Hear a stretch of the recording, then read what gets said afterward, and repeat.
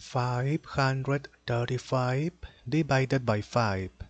5 is not less, therefore with 5. 5 multiplied by which number is nearest to 5 but not greater? 5 multiplied by 2, 10 is greater. Multiplied by 1 is 5, is not greater, okay. 5 minus 5, 0. Next. Eliminate 0 on this side. 3, but 3 is less, therefore next.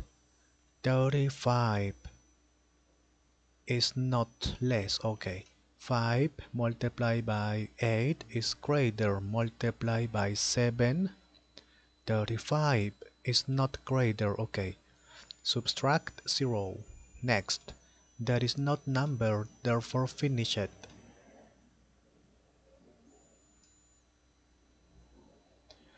Okay, 535 divided by 5 is 17. Okay,